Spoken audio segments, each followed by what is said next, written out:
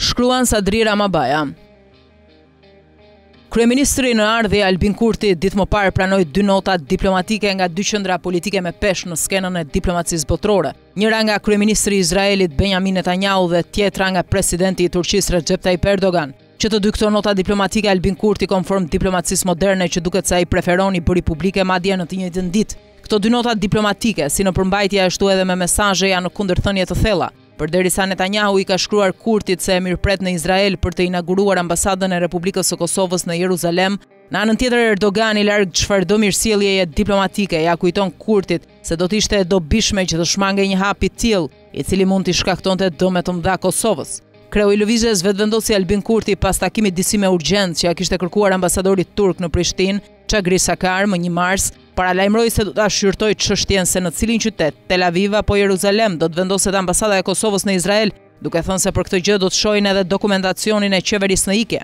Të kujtojmë faktin se ambasadori turk në Prishtinë më herët kishte kundërshtuar hapjen e ambasadës së Kosovës në Jeruzalem. Por çfarë potencohet në të drejtën diplomatike dhe konsullore në kuadër të standardit e së drejtës ndërkombëtare publike, ku bëhet fjalë për lokacionin e përfaqësive të huaja diplomatike, Ajo është e qartë dhe ka rregulluar edhe këtë çështje. Sipas saj, është e drejtë ekskluzive kushtetuese dhe sovrane e shtetit që i pranon ato përfaqësi. Për Kosovën është me rëndësi kruciale lidhja e këtyre marrëdhënieve, ndërkaq lokacioni i ambasadës është çështje që edhe mund të rishikohet në akordancë me nikoqirin, por edhe me aleatin tonë të përbashkët strategjik. Konform asaj që është bërë publike, më 4 shtator në Washington, Kosova ka nënshkruar zotimin që paraqet njohje ndërmjet dy shteteve, Kosovës dhe Izraelit. Ndërkaq akti i dytë që ka prodhuar ai zotim ishte themelimi i marrëdhënieve diplomatike në rrafshin formal ndërmjet dy shteteve, që u nënshkrua në një ceremoni virtuale më një shkurt. Ministri i Punëve të Jashtme të Izraelit, Gabriel Ashkenazi, po atë ditë potencoi se ka miratuar kërkesën e ministres në detyrë të Punëve të Jashtme dhe Diasporës së Kosovës,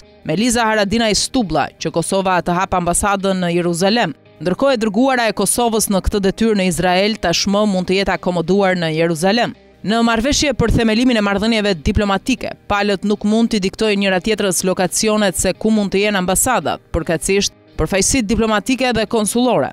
Kjo për shkak se atë e përcakton shteti i pranimit, shteti mikpritës, në këtë rast Izraeli. Çdo shmangie nga ky rregull nënkupton devijim të politikës bilaterale me Izraelin dhe orientim të Kosovës me vendet e Lindjes së Mesme që kanë orientim islamik, rikujton në një intervistë të dhënë Radios Europa e Lirë profesori i së Drejtës Ndërkombëtare në Universitetin e Prishtinës, Enver Hasani. Duket se kryeministri i ri në ardhje i Kosovës këtë kurth diplomatik e kaloi me pragmatizëm të theksuar. Ai këtë çështje megjithatë ia la kohës, duke i paralajmëruar se do të marrë në konsideratë kërkesat e administratës së re të SHBA-ve për këtë çështje.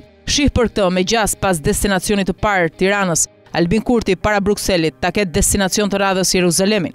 Nga kjo qendër historike ku ai pritet ta inaugurojë ambasadën tonë, duket se do ta ketë mundësinë e mirë t'u dërgojë mesazhin e duhur jo vetëm Ankarasë, së neo-otomanit Erdogan, Brukselit të dyzuar e Moskës, por edhe kolonës së pestë. Kjo nuk do të thotë megjithatë asesi se Prishtina do të neglizhojë marrëdhëniet me Ankaranë e aq më pak me Brukselin.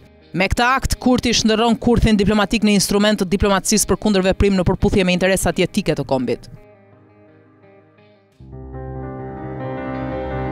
Pamfleti është një platformë mediatike analitike që u lind si domosdoshmëri e një tribune pa kompromis, si një zë i fuqishëm në luftën pa ekuivok ndaj krimit dhe korrupsionit politik në Shqipëri.